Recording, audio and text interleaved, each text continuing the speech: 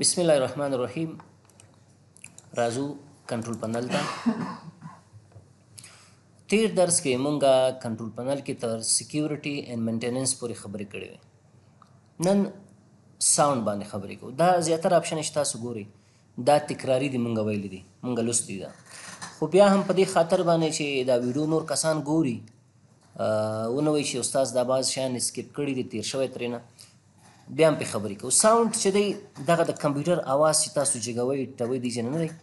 یو دا ساوند دی یو دا دی چې مایک ګوره یو لا سپیکر دی سپیکر چې وتوي او یو دی مایک دی مایک اواز ثبت کوي سپیکر هغه اواز دننه نه بیرون ته وباسي د دې دواړو تنظیمات که تاسو وغواړئ هغه دی ځینه کولی شي دی ساوند نه کولی شي یوه خبره بله خبر دا ده بعضې وخت کې زه یو پروګرام بندوم یو اواز کوي یا زما کمپیوټر چې کله مصروف کیږي یا یو شی کلوز کوم یو اواز خوند کوي دغه ټول تنظیمات تاسو هم دې نه کولای شي د بعضې خلکو کمپیوټر کې وګورئ چې کله کمپیوټر چلانوي یو تلاوت پلی کېږي خپل اټومیټیکلي یا یو داسې لنډ غوندې یو درې ثانیې پنځه ثانیې شپږ ثانیې یو تلاوت د هغه پلی کېږي که نه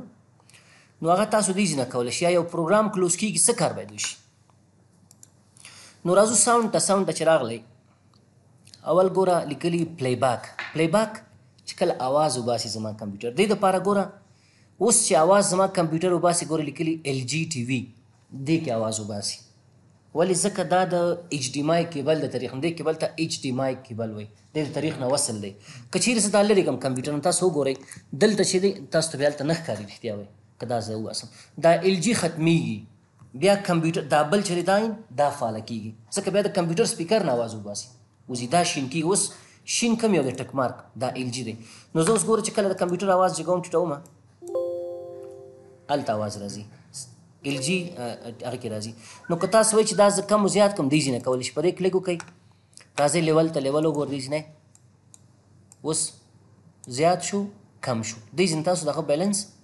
زیاتول کمول شي ګورل ته لیکلي دي چې ډي مای 1 باندې دی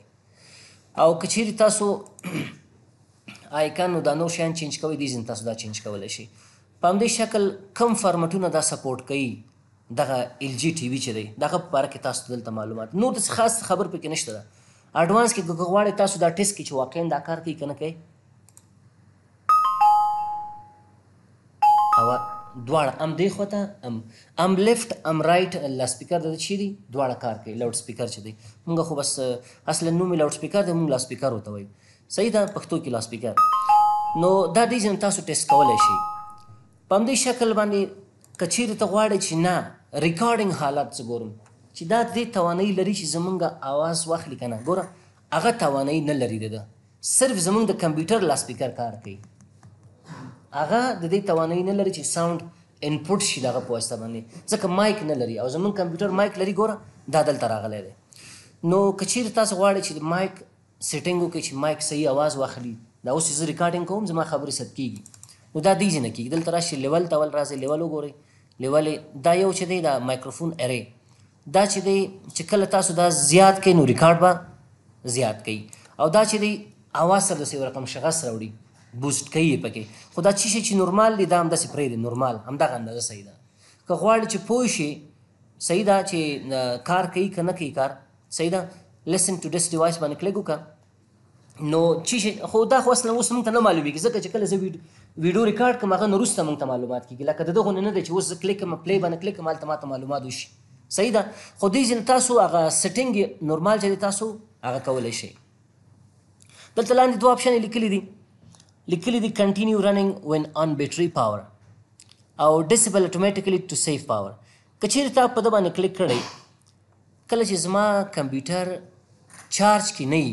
بیټری کی کار دی وکی که ونه کی دلته لیکلی هو کنټینیو کار دی کوي که وای چی نه اټومیټیکلی ډیسیبل دی شي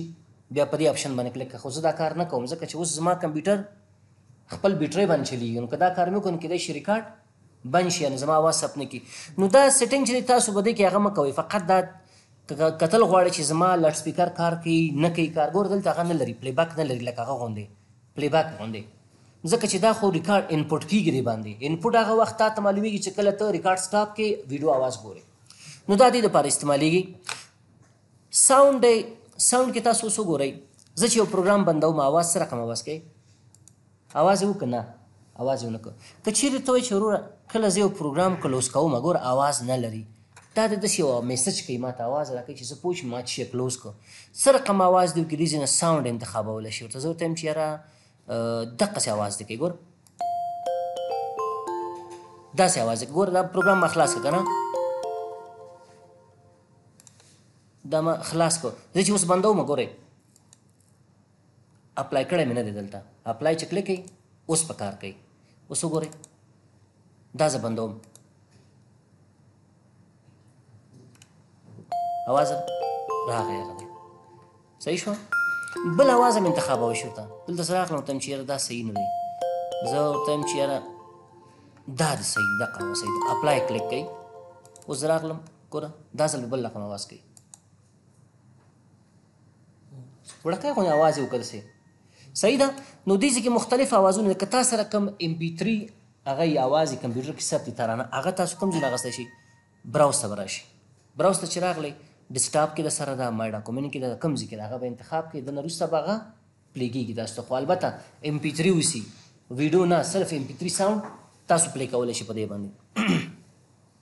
ایم پی تری ساوند هم کولای شي او بل که چیرې تاسو سره یو ویډیو وسی هغه به تاسو د ویډیو کنورټر په واسطه باندې کنورټ کړئ کوم ایکسټنشن ته ډبلیو ای وی ته به کنورټ کړئ څنګه کنورټ کیږي کله چې تاسو کنورټر انسټال کړئ تاسو چې ویډیو انتخاب کړئ تاسو ته وایي که چیرې دینه تاسو ته اواز پکار دی کم فارمټ کې اواز پکار دی ډبلیو ای وی او فارمټ د تاسو سره وړي دغه اواز فارمټ کې پکار دی ام بي 2 پکار دی ام بي 3 پکار دی کم پکار دی هغه کنورټ کیږي بیا هغه ویډیو تاسو دلته اواز پلی کول شي دي نو ساوند ډیر پر استعمالیږي او زه څه کوم دلته بیرته راځم په دې مې کلیک وکړم دغه اواز بیرته نو ساوند انتخابوم تم چې نه کله یو پروګرام زه کلوز کوم اواز دی نه کوي اپلای باندې کلیک کړم مختلف دی ګوره چې کله یو ډیوایس ستا زما زه چې کله فلش کمپیوټر سره کنیکټ کوم ګوره داسې اواز کوي ته څه کوي که نه کوي دا اواز نو که ته وایې چې دا بدلوم راځه دې ځینې بل انتخاب کړه خو دې ځینې تاسو ساوندونه هغه کولی شي بل دلته یې لیکلي کمیونیکیشن کې When Windows deduct communication activity کله چې زه کمپیوټر کې د کمپیوټر د مسنجر د طریق نه یا د بل چا سره طریق نه بل چا سره خبرې کوم صحیح ده دلته لیکلي چې کله کمپیوټر په دې پوه شو چې ته چا سره کمیونیکیشن کې خبرې کوي ګورې لیکلي reduce the volume of other sound by 80% نور کوم شیان چې که ویډیو پلی وسی که اډیو پلی وسی داغه اواز به اتیا فیصد ټیټای درته او که ته وای چې نه غد ټول بند شي ځکه چې زه خبرې کوم نو چې تاغه پلی وسی نو دا ورته انتخاب کوي او کوي چې نه هیڅ مکو دا دیم پلی او هغه سره زه خبرم کوم به دا ورته انتخاب وي نو زه دا انتخابم میوټ آل اذر ساوندز ټول نور اوازونه بند کړئ صرف زما خبر دی یو بل سره افهام تفهیم کولی شي نو دا موږ سره ساوند ساوند ډیزن هم تاسو تنظیمات کوی شئ دلته چې راشئ دا وګورئ هماغه خبره ده که غواړئ چې همدغه اپشن ډیزن خلاص کړئ په همدې ساوند باندې رایټ کلیک وکړئ دلته ور ساوند باندې کلیک هماغه اپشن موږ ته خلاصېږي بیرته تفاوت نه لري خاص سپیچ ریکګنیشن په اړه کې موږ خبرې کړې وې که ستاسو په یاد چې موږ کمپیوټر ټرین کوله چې زموږ आवाज وپیژني دا مغول درسونه کې ویلي که کم کسان غیر حاضر کول شي سیټینګ درسونه ته لاړ شي یوټیوب کې هغه ځینې درسونه وګوري ټربل شوټینګ دې لپاره استعمالیږي کچېری ته غواړې کمپیوټر ته یو هدایت ورکړي چې وروره زما دغه پروګرام صحیح کار نه کوي دا ما ته ټربل شوټ کا جوړ کړه نو دې لپاره موږ ټربل شوټ نه استفاده کوو راځي په دې کلیک وکړو کله چې تاسو په دې باندې کلیک وکړئ اول کچیر تاسو غواړئ چې ټول دغه پروګرامونه وګورئ چې تاسو په کمپیوټر کې دي او تاسو هغه ټربل شوټ کې په ویو آل باندې کلیک کړئ دا تاسو ته کوي دې کې کوم پروګرام دی چې کار نه کوي د مثال په تور باندې زه څه کوم زه ورته وایم چې یاره ما سره فوټوشاپ پروګرام دی یا بلوتوت دی یا بل شی دی هماغه به انتخاب کړي ګوره اوس خو جوړ دی دا خو اوس جوړ ښه ټیټ کار کوي که چیرې مشکل درودله په هماغه به تاسو کلیک وکړئ چې کلیک هم وکړئ یس انتخاب کړئ هغه به ستا کمپیوټر څه کوي ټربل شوټ کوي اوس زه په دې باندې وخت نه ضایع کوم یو پروګرام به تاسو ته پریکټیکل کار کوم چې څنګه ټربل شوټ کیږي بیرته پریویس حالت ته لاړم کچیر ته ګوره هیستوري د ټرابل شوټینګ چې مخکې کوم پروګرام کې مشکل پیدا شوی کنه چې کمپیوټر ټرابل شوټ کړی ټرابل شوټ څه تول کیږي د مشکل یابي چې چې مشکل هغه ته پیدا کوي وای دا ټرابل شوټ کا نو په دې باندې کلیک کوم په دې چې کلیک ګوره ماته وي bale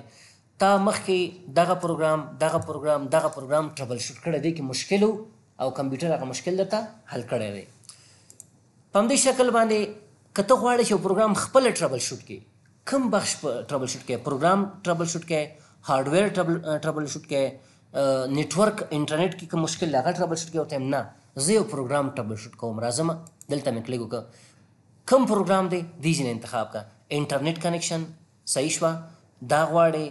دا غواړي پروګرام ان کمپیټیبلټي دا غواړي په دې باندې کلیک وکړه ورته بالکل دا غواړم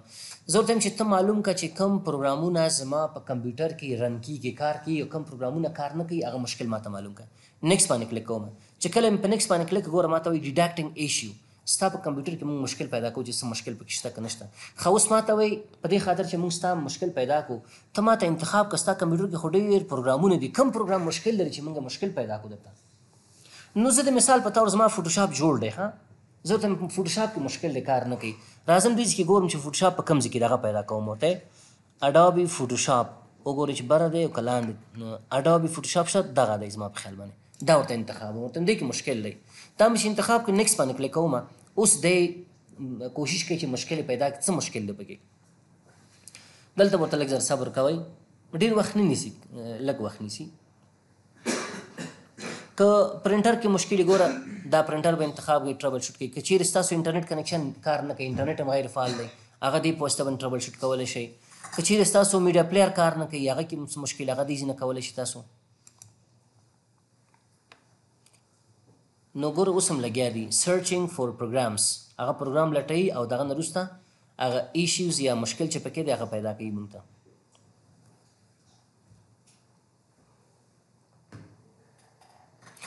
دا ډیر زیات نه استعمالیږي ډیر کم حالاتو کې ګوره ما ته وایي سلیکټ ټربل شوټینګ آپشن ته غواړې څه رقم دا مونږ فکس کړو دا مشکل لته ټرای ریکمنډډ سیټنګ کوم چې ټول له دنیا استعمالي عام خلک په هغه شکل باندې غواړي موږ ټرابل شوټ کې کنه ته وای چې نه ته هغه سیټنګ ستا خوښ نه دی خپل په طبیعت باندې زه تم چې نه ما کوم ټول خلک استعمالي هغه صحیح ده ریکمنډډ اوس ما ته سوي ټیسټ کمپیټیبلټي سیټنګ فور ا پروګرام ته د چلو کا دغه پروګرام ټیسټ کې چې اوس کار کوي کنه کوي کار صحیح ده ددې مشکل په کوم په دغه پروګرام په کوم وینډوز کې مشکل لري ګوره وینډوز کمپټیبلټي موډ وینډوز 7 دغه چې دی په وینډوز 7 کې کار کوي نو ستا په کمپیوټر کې خو خود کار کوي دا پروګرام اوس ته بیا هم امتحانا وګوره چې دا کار کوي کنه کوي یو نیډ ټو ټیسټ د پروګرام ټو میک شور دی سیټینګز فکس د پرابلم بیفور یو کین کلیک د نیکسټ ټو کنټینیو وای دې نه مخکې چې ته په نیکسټ باندې کلیک وکې مخکې لاړ شي تا ول دا ټیسټ کوي وګوره چې دا پروګرام جوړ شوی دی که نه دی جوړ شوی زه ګوره ټیسټ باندې کلیک کوم هغه پروګرام ما ته خلاصېږي که چیرې خلاص شو بالکل مشکل حل دی نو څه ضرورت ده چې دا زه بیا سر نه ټربل شوټ کوم نو دا مې یو نمونه کار وکړ ګوره دا ښه صحیح کار کوي هېڅ مشکل نشته دی فوټوشاپ خلاص شو زه ورته وایم چې نیکسټ نیکسټ باندې مې کلیک وکړو ما ته وایي څه وایي ټربل شوټینګ هاز کمپلیټ ایز د پرابلم فکسډ وایي زمونږ طرف نه خو هغه کم طریقه چې هغه پوره شوه ټربل شوټینګ پوره شو آیا ستا مشکل حل شوی دی کنه دی حل شوی زه ورته چې یس دی سیټینګز فار یس سیو دی سیټینګز فار دس پروګرام دا کم تنظیمات چې تا په دې پروګرام باندې تطبیق کړ دا صحیح دی دا سیو کا که آینده کې بل کس وای چې زما فوټوشاپ کار نه کوي همدغه سیټینګ په هغه تطبیق کوي تر څو پروګرام جوړ شي نو ما په دې باندې کلیک وکړ او کوی چې نه کار یې ونه کوه نور طریقو نه استفاده وکړه نو ټرای اگین یوزینګ ډیفرنس ډیفرنس سیټینګز نور طریقو نه استفاده وکړه چې زما مشکل حل شي زه ورته چې بالکل وروره مشکل حل دی په دې مې کلیک وکړو صحیح شو اوس څه کوي جنریټینګ ریپورټ د د ځان سره ریپورټ جنریټ کوي چې آینده لپاره هغه نه استفاده وکړي چې څنګه ستا مشکل مونږ حل ګوره انکمپیټیبلټي انکمپیټیبل پروګرام فکس دا کوم مشکل چې ستا په پروګرام کې و هغه فکس شو کلوز باندې کلیک وکړو په دې شکل تاسو کولای شئ کوم مشکل تاسو پروګرام کې اوس هغه څه کوي جوړ کړئ اوس کچیر ته قتل غواړي بیا راځه ویو هیستوري باندې کلیک ګور دیږي کې ماته یو بل آپشن هم اضافه شو دولس نهه ویشت دقیقو باندې ما څه پروګرام کمپیټیبلټي ټربل شوټر آن کړو ما ته ښي د نن ورځ تاریخ وګور شپږم تاریخ دی هیستوري کې هغه مونږ ته ښي چې تا یو ټربل شوټینګ آن کړو په دې شکل هر شی چې اوسي مشکل تاسو هغه کولی شئ ټاکس ټاس بار ان نیویګیشن ته هغه د اول ورځ درسونه مونږ ویلو چېرته ویلو دغه رایټ کلیک پراپرټیز کې ګورئ دلته چې رایټ کلیک وکړئ لاړ شئ پرسنلایز ته دې ځای کې موږ ټاسک بار لوستی وکړ ستاسو په یاد عکسونه بدلوئ نور شیان د دې باندې موږ خبرې کړې وې نو دا هم هغه تیر درس دی کولی شئ تاسو هغه وګورئ په همدې شکل که چیرې تاسو خپل د کمپیوټر مشخصات کتل غواړئ څومره ریم دی څومره پروسسر دی وینډوز پکې انسټال ده کومه وینډوز ده کوم بیټ ده هغه ټول معلومات تاسو ته دلته درکړي دا موږ مخکې هم لوستی و په دې باندې کلیک وکړئ دا دی بل صفحه خلاصیږي دلته ماته وایي چې وروره ستا د کمپیوټر نوم دا دی پروسسر انټل دی او 2500 پروسسر دی تقریبا 8 جی بی ریم پکې انسټال دی په همدې شکل باندې ستا کمپیوټر کې وینډوز 10 پرو انسټال شوی دا او دا یو ورژن دی ستا د وینډوز په کم تاریخ باندې انسټال شوی په دغه تاریخ باندې نور معلومات هم درکې دا خو مونږ ویلو کنه چې تاسو دې ځینم کولای شئ دې ځینم کولای شئ چې رائټ کلیک پراپرټیز ته لاړ شئ او یا رن ته لاړ شئ ولیکي ډي ایکس ډي آی ای جی دا چې کلیک ټول مشخصات د کمپیوټر تاسو ته درکې ستا کمپیوټر څومره پروسسر دی څومره ګرافیک دی کم ماډل دی اوس یو څوک تانه پښتنه کوي ستاسو کمپیوټر ماډل چی شي ته ورته چیرې ما ته معلومات نشته دا ما پښتنه څه وخت تانه کوي کله چې تاسو ستاسو کمپیوټر ډرایور ضرورت مثلا ستاسو کمپیوټر کیمرا نه انسټالیږي چې نه انسټالیږي ته بل چاته زنګ وای چې ورور ما ته دا سافټویر په کار دا ډاونلوډ هغه ته ته وایي ستاسو کمپیوټر ماډل چیرته دی ماډل د کمپیوټر تاسو دلته پیدا کول شي رن ته چلاړی اوم لیکو ډي ایکس ډي آی جی ګورل ته لیکلی سیستم مانیفیکچرر اول ستا کمپیوټر ډیل کمپیوټر دا کم کمپیوټر چې زه استعمالوم او سیستم ماډل چې دی لټیټیوډ سلور پنځوس اتیا دا زما د کمپیوټر ماډل دی لکه د موبایل ماډل چې مونږ وایو کنه دا د کمپیوټر ماډل دی لټیټیوډ سلور پنځوس اتیا همدې شکل باندې نور معلومات که غواړئ دې ځکه تاسو ته کوي چې ستا کمپیوټر کې شیر ډیډ ګرافیکس څومره دی ډیډیکیټ ګرافیکس څومره دی بل دغه نه وروسته مونږ سره سنکرونایزیشن سنټر یا سنک سنټر سنټر دی دا څه لپاره استعمالیږي دا اصلا تاسو درس نه دا نتورک لپاره استعمالي کله چې زه یو فولډر دلته رائټ کلیک مې وکړ راغلم یو فولډر مې جوړ کړ فولډر ته راغلم او مې نوم ورته ورکړ چې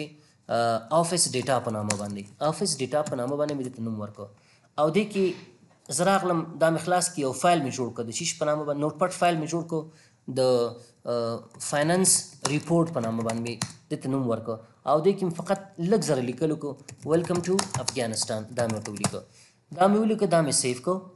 اوس دا فایل که زه شیر کوم د نتورک تاریخ نه چې نور مرګري هم ته استفاده وکړي ځکه مالی ریپورت دی رئیس صاحب ته پکار دی بل چا ته پکار دی په دې رائټ کلیک کوم رائټ کلیک می چوک دلته وګورم موږ سره پراپرټیز د پراپرټیز ته چې کله راشم شیرنګ ته راځم ورته دا فولډر څخه شیر که اډوانس راغلم یس مې انتخاب کړ تم دا فولډر شیر که اپلای مې کلیک کو او دا کیشنګ ته راغلم دلته مې دا آپشن هم آن که پکې all files and programs that users open from this uh, uh, the share folder are automatically available offline په دې مې کلیک وکړو اپلای مې کلیک کو اوکې اوکې دا ستاسو درس نه دی خو بیا هم وګورئ ورته اوس دا شیر شو په نټورک باندې نور همکاران زمون کولای شي زما د کمپیوټر آی پی خپل په کمپیوټر کې واچي زما د یوزر پاسورډ ته ورکړي دا فایل اکسس کی خو که چیرې زما کمپیوټر ګل وسی بیا هغوی دا نشي استفاده کولی که چیرې ته وایي چې زه اجازه ورکوم ورته چې مثلا هر څوک وشي کولی دا فایل آفلاین هم استفاده کړي ګوره سینک سنټر ته چې کله راشي د دې کار چی شي ده د دې کار دا دی که چیرې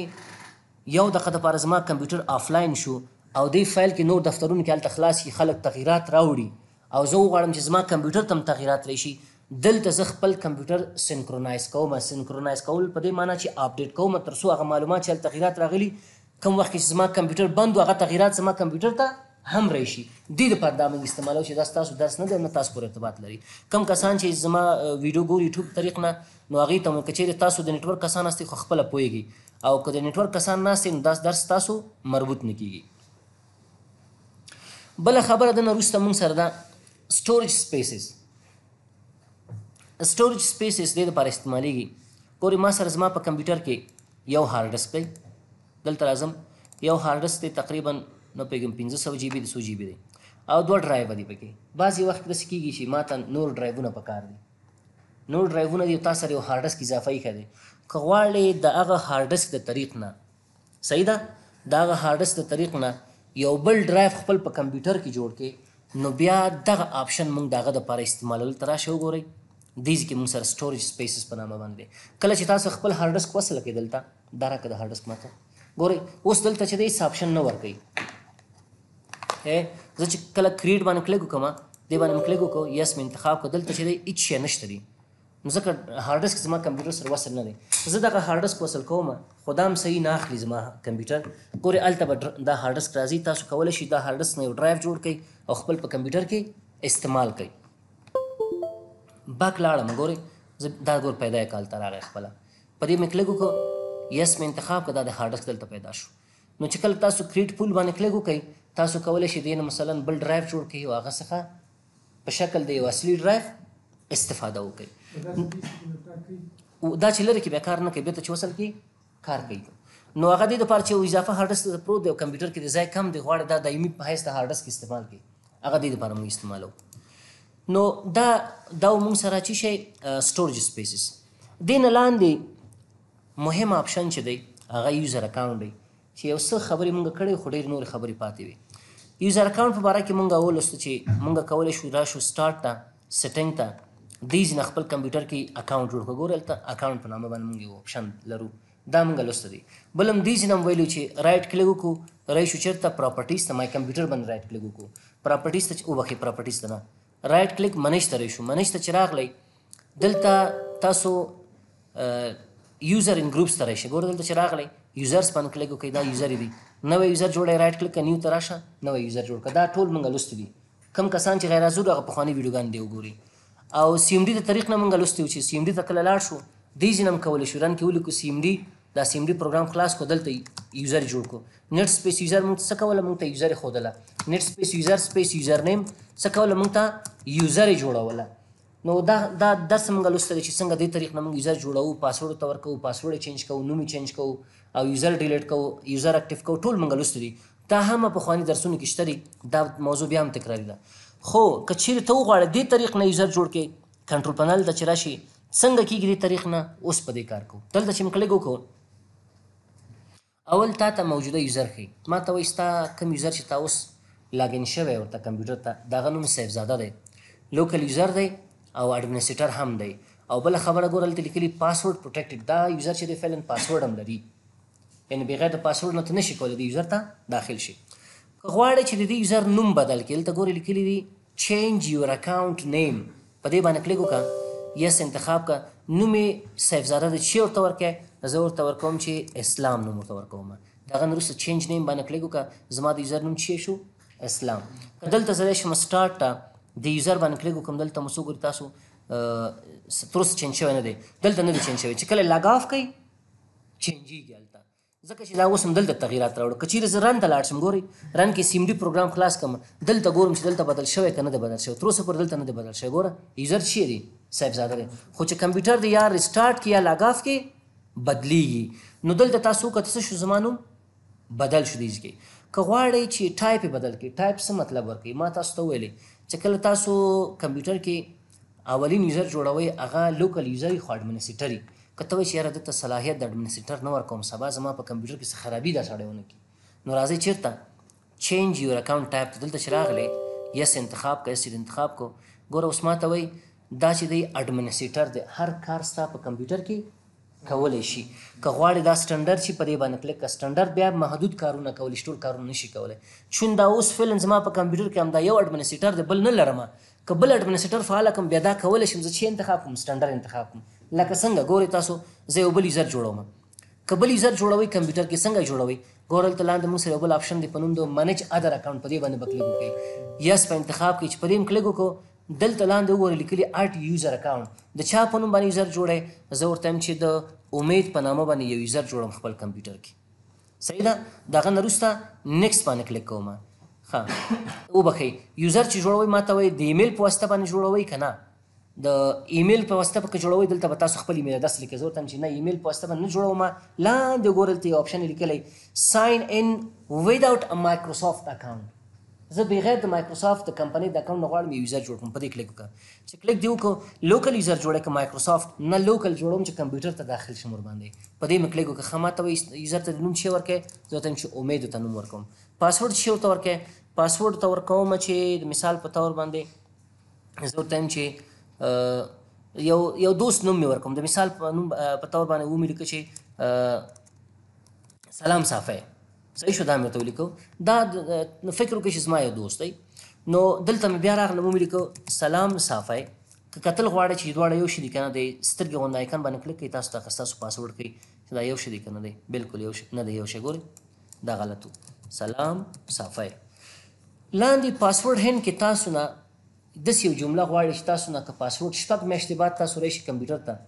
او تاسو نه پاسورډ لیا دوتلې هغه جملې ته وګورئ تاسو پاسورډ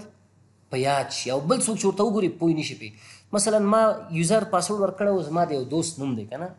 زه لیکم چې د پاسورډ ایز د نیم آف مای بیسټ فرینډ پاسورډ چې دی زما د نږدې دوست نوم دی نو بل څوک څه پوهېږي چې زما د نږدې دوست څوک دی زه چې کله راشم ما ته معلومات کېږي چې دغه کس زما یا فلانی کس زما نږدې دوست دی د هغه نوم لیکم کمپیوټر ما ته خلاصېږي نو دنه وروسته بیا نیکس باندې کلیک وکړو نیکس باندې چې کلیک وکړو وګورئ تاسو ته یو یوزر جوړ شو د چا په نامه باندې امید په نامه باندې کله چې فینش باندې کلیک وکړئ دلته امید یوزر مونږ سره اضافه شو اوس زه زما څه کوم باک سم بیرته ما پخوانی زته زما اوس چې کله زلته راشم که غواړې چې ته دغه امید یوزر ټایپ بدل کې بیا به راځي چې ته منج انادر اکاونټ باندې بکلیک وکړي یس په انتخاب کوي اوس فعلا دا امید یوزر چې دا لوکل یوزر دی زما کمپیوټر کې تخریب نشي کولای هر کار نشي کولای که ته غواړې چې نه دا هم زما غوندې آی ټي کې کار کوي باید عام او تام صلاحیت ولري زما په کمپیوټر کې نو څه کوم په دې باندې کلیک کوم چې په دې د کلیک وکړو ګوره هماغه آپشن دلته بیا راغلی چینج د اکاونټ ټایپ د دې نوعیت بدلوي راځه په دې کلیک وکړه اوس څه شي دي سټانډرډ دی سټانډرډ کم کارونه کولی شي ګوره دلته لیکلي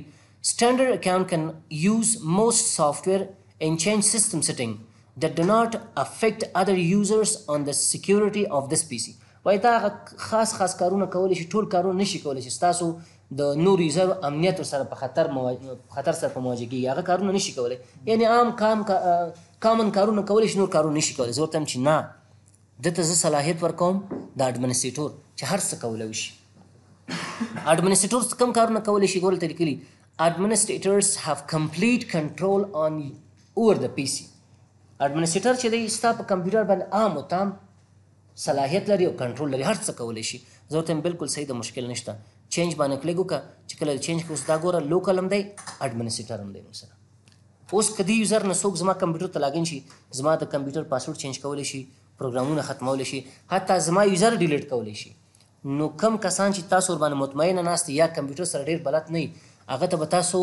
اډمنسټریټر صلاحیت نه ورکوي لوکل صلاحیت به ورکوي چې خرابي ونکړي ستاسو کمپیوټر کې بیرته غواړي دا یوزر ختم کړي دلته چیل کړي ډیلیټ د اکاونټ په دې باندې کلیک وکړه کله چې کمپیوټر زمونږ د پاره یو یوزر جوړي بعضی فایلونه چې هغه د پاره ضروري دی هغه خپل جوړي وسره ما ته وای چې ته غواړې هغه فایلونه چې د یوزر کې جوړ شوی دی یا تا جوړ کړی یا مونږ جوړ کړی ډیسکټاپ باندې نور ځایونو کې پراته دي هغه ځان سره وساتې کنه هغه ختم کم زور تم چیرې دونه مهم یوزر نه ډیلیټ کا ډیلیټ باندې کلیک کا ډیلیټ اکاونټ نو ټول فایلونه معلومات چې په دې یوزر کې وو د یوزر سره ختم شو په دغه شکل تاسو کولای شئ خپل کمپیوټر کې چیک کړئ یوزر جوړ کړئ دغه ټایپ بدل کړئ پاسورډ ته بدل کړئ او په همدې شکل باندې نوم بدل کړئ او نور مشخصات راځو بیا کنټرول پنل ته دې نه وروسته موږ سره وینډوز فایروال دی وینډوز فایروال کې ډېرې خبرې دي وینډوز فایروال وینډوز موبایل موبیلیټي سنټر او ورک فولډر دې باندې سبا ته خبرې کوو ځکه چې وخت هم کم دی پنځلس دقیقې او درس هم کم پاتې چې سبا ته دا یو څه شی موږ ریکارډ کړو